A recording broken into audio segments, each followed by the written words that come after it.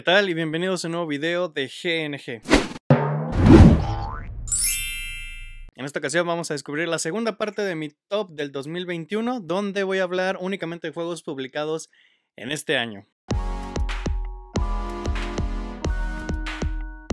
Pequeño disclaimer, realmente no hay forma en que pueda jugar todos los juegos publicados durante este año y sé que hay algunos juegos un tanto populares que no van a aparecer en la lista y quiero dejar en claro que es o porque el juego no me interesó o porque sencillamente no pude conseguirlo, ya sea por disponibilidad misma del juego en el país o por su costo. En el número 10 está un jueguito chiquito para dos jugadores de área control. Estoy hablando de Great Plains.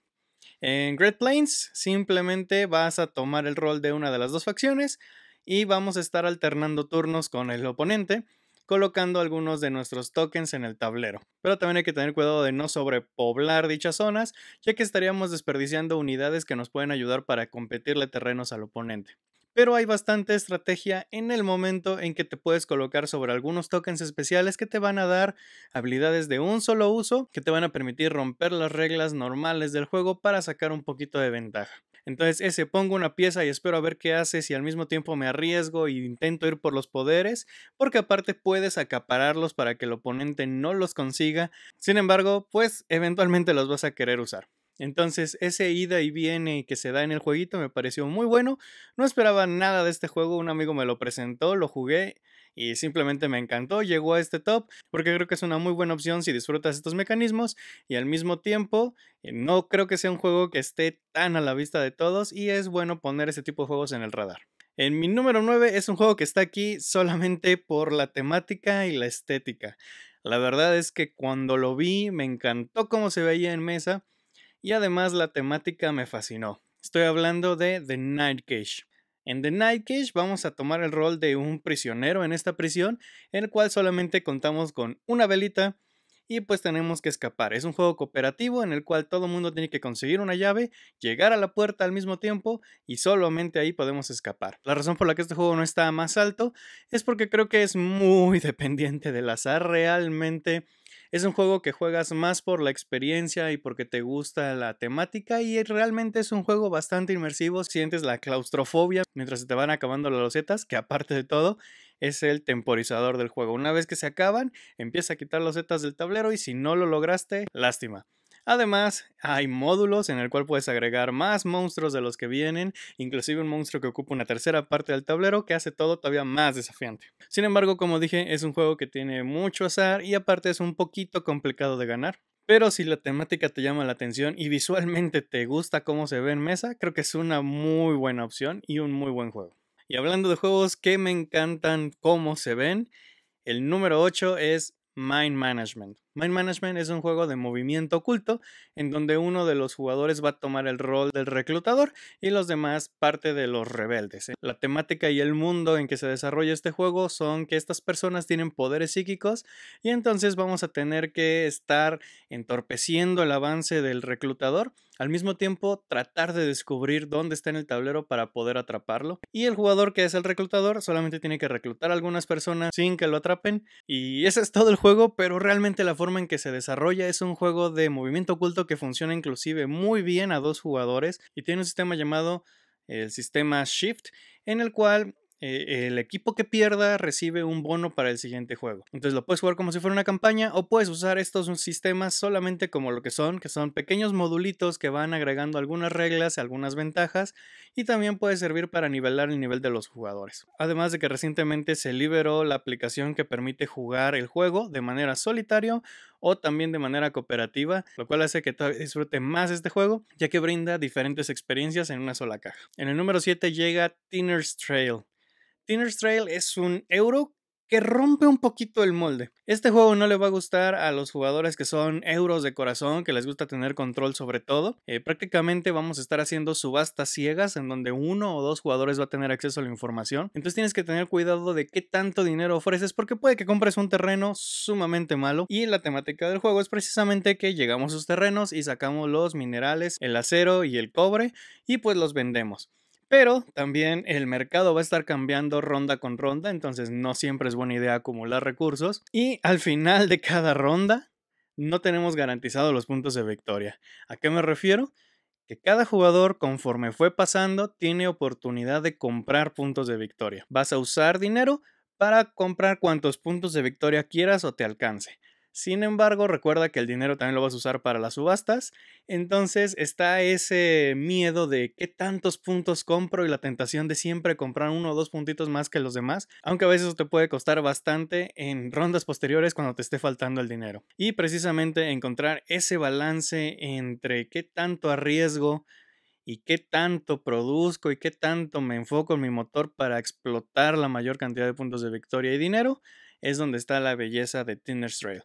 Sin embargo, como dije, hay muchos elementos donde el jugador no tiene tanto control o que no puede planear a futuro y realmente tomar una decisión eh, muy educada acerca de qué hacer para poder hacer bien las cosas en las siguientes rondas. Entonces ahí es donde siento que a muchas personas no les va a gustar. Sin embargo, para mí fue una experiencia que no había encontrado en los euros y que disfruté bastante. En el número 6 está el euro pesado como a mí me gustan. Estoy hablando de Coffee Traders. En Coffee Traders vamos a estar simulando el manejo de las plantaciones eh, comunales para poder cosechar café, poder venderlo, poder obtener puntos de victoria. Este juego, a pesar de verse sumamente pesado y atascado de pequeñas cositas, realmente es un juego bastante lineal y que va a basarse mucho en carrera con los jugadores y al mismo tiempo mayoría de áreas. Vas a estar compitiendo por ser quien tenga la mejor calidad en cada una de las plantaciones, al mismo tiempo ser el primero en llegar a las tiendas de café y vender más en ciertas zonas de igual manera en expertise sobre ciertos tipos de cafés para poder obtener los bonos y ganarle los bonos que solamente un jugador puede ganar. Al mismo tiempo también vas a estar compitiendo por ciertos objetivos de producción o de desarrollo de tu plantaciones. Si la temática no te llama la atención, este es un juego al que se le pueden ver los huesos muy fácilmente. Si no estás tan involucrado en la temática, sí siento que vas a sentir que es un juego demasiado mecánico. Sin embargo, si te interesa el tema y no te espantan las reglas, creo que este juego la verdad es muy muy inmersivo y te permite tomar decisiones interesantes cada una de las rondas. No son muchas rondas las que vas a jugar, así que cada decisión que hagas tiene que contar. La última cosa que tengo que recomendar si este juego te llama la atención aparte de que se ve hermoso en la mesa y la producción es muy buena, es que el manual no es el mejor que ha producido Capstone Games. Y sí tuve que apoyarme en algunos videitos y preguntas y respuestas de la BGG para poder saber exactamente si estaba jugando el juego bien. El número 5, no voy a hablar mucho de él, es un juego que ya tengo una reseña aquí en el canal, es Land vs. Sea. Es un juego de colocación de losetas que para mí brilla bastante de dos jugadores, en donde un jugador va a querer cerrar terrenos de agua y otro jugador terrenos de tierra. Pero una de las cosas que tiene bastante interesantes es que se transforma conforme el número de jugadores. Si lo juegas a 3, se convierte en un juego asimétrico, si lo juegas a 4 se convierte en un juego de equipos, además de que para hacer un juego de cajita chiquita se ve muy bonito y la colocación de los zetas, aunque no hace nada nuevo, la verdad es que es un muy buen desafío y un excelente juego de dos personas. Mi número 4 lo conocí en el 2015 y la verdad es que me moría de ganas por tenerlo. Lamentablemente no lo pude conseguir en ese entonces y cada vez se volvió más difícil. Estoy hablando de Iki. Esa nueva edición tiene un arte que la verdad se ve increíble un salto en la calidad de producción. La verdad, la versión original no estaba para nada fea, tenía un arte un poquito más clásico y estoy de acuerdo con que algunas personas prefieran esa versión pero esta no le pide absolutamente nada, está hermoso en la mesa. En Iki lo que vamos a estar haciendo es estar inspeccionando y visitando tiendas en una de las cuadras del antiguo Japón, en donde vamos a querer estar coleccionando varios sets, eh, adquiriendo pescados, mejorando nuestros propios edificios, contratando nuevos trabajadores. La verdad es que te permite hacer varias estrategias para la victoria, pero uno de los mecanismos principales es estar subiendo de nivel a tus trabajadores y eso lo logras no contigo, si das una vuelta al tablero, sube nada más uno de nivel. Pero la belleza de Iki también está en poner tiendas que sean jugosas para los demás jugadores. Porque cada vez que un oponente visite uno de tus locales, tu trabajador sube de nivel y eventualmente se van a jubilar, dándote algunos beneficios extra y permitiéndote tener más espacio y puntos asegurados. La verdad es que Iki es un diseño muy limpio, me encantó, lo disfruté bastante en la mesa Tiene una mecánica que a lo mejor a algunas personas las va a espantar en el cual eh, se puede producir un incendio que te destruye absolutamente todo lo que tú tienes. Sin embargo, si quieres planear para protegerte al respecto, puedes hacerlo sin ningún inconveniente o puedes jugártela a ver si no te toca el incendio. Pero la verdad es que Iki es un juego que yo disfruté muchísimo y que se ve bastante increíble en la mesa. Y el número 3 es eh, mi juego económico favorito de este año y estoy hablando de Furnace. Furnace integra un sistema de subastas con un sistema de creación de motor y te permite tener una fase donde estás con la tensión y la interacción entre los jugadores y una fase donde estás con la tensión de que tienes que ser lo más eficiente posible, pero ya concentrándote únicamente en lo que tú haces. Furnace es un juego de cajita chiquita y que para el tipo de mecánicas y temática que tiene uno esperaría que fuera un juego grandote y de dos a tres horas y resuelve todo en una hora y te da el sentimiento de haber jugado algo un poquito más denso. Sin embargo, si te gustan los juegos económicos o de creación de motor, creo que este juego no debe pasar desapercibido y mínimo debes de darle una oportunidad. Mi número 2 es mi juego de colocación de losetas favorito de este año y estoy hablando de Cascadia. Cascadia tiene un sistema de drafteo en donde te llevas una loseta junto con un animalito y tienes que ponerlo en tu ecosistema. La manera en que haces crecer los tipos de terreno te van a dar puntos y al mismo tiempo los lugares donde puedes colocar a los animales tienes que pensar bien dónde ponerlos ya que cada animalito va a puntuar de manera diferente y además entre cada juego puedes cambiar las tarjetas de puntuación para que el oso puntúe de una forma en este juego y la próxima vez que juegues sea diferente. Se puede comparar a Cascadia con Cálico porque son de la misma compañía,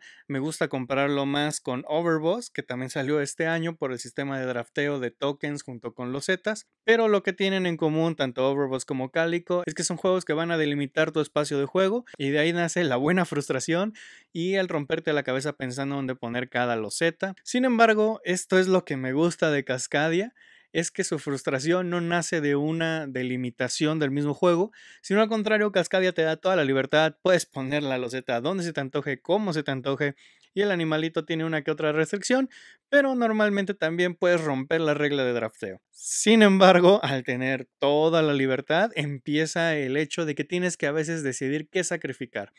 A lo mejor te conviene muchísimo poner esa loseta para expandir tu terreno, pero si haces eso ya no vas a poder poner el animalito donde tú querías y ese tipo de frustración siempre es buena.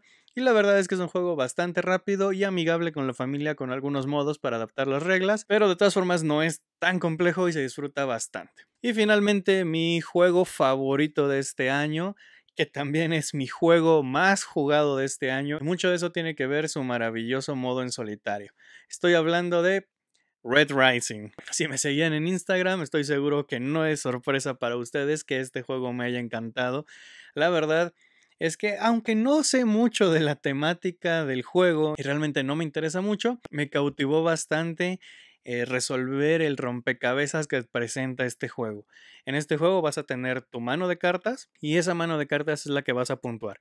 Entonces tienes que estarla optimizando, tienes que jugar cartas para activar poderes de la carta y luego tomar cartas del tablero para mejorar tu mano. Hay algunas otras formas de juntar puntos y que van a ir interactuando con las cartas que vas a ir juntando, pero todo tu motor y la mayor cantidad de puntos de victoria va a proceder de tu mano. Entonces esa decisión de quiero jugar esta carta por la habilidad que tiene, pero no sé si realmente vale la pena sacrificarla para después ver si puedo conseguir alguna otra carta mejor. Es lo que me atrapó de este juego. Desde luego Red Rising no es un juego tan explosivo en cuanto a puntos, pero me divierte bastante estar buscando los combitos, cómo funciona uno con otro. Hay jugadas muy obvias en el cual eh, juntar cartas doradas es una estrategia completamente válida, pero al mismo tiempo me divierte mucho descubrir qué estrategias funcionan con las cartas rosas, con las cartas cafés cada vez que me siento a jugar el juego, ya sea en solitario o con otras personas, disfruto muchísimo estar desmarañando el rompecabezas que tengo frente a mí. Y no puedo decir más, la verdad es que me encantó Red Rising, no es un juego para todo mundo, estoy seguro que para algunas personas es un juego con muy poca interacción y que se siente como si estuvieras jugando en solitario totalmente y que se le va a hacer un poquito más lento o complicado de lo que un juego de este estilo merecería. Sin embargo, a mí me encantó, eh, cumplió con todo lo que yo buscaba en este juego que ni siquiera sabía que lo buscaba y la verdad me fascinó y se convirtió en mi juego favorito del 2021. Y bueno, esos fueron mis 10 juegos favoritos publicados en el 2021. Comenta aquí abajito cuáles son los juegos que más te llamaron la atención de este año. Y si te gustó este video y quieres ver más como él, no olvides dejar manita arriba, suscribirte, activar la campanita y desde luego seguirnos en todas nuestras redes sociales para que no te pierdas nada de lo que GNG anda haciendo, donde estamos, que estamos jugando y nos estamos viendo. Hasta el próximo año.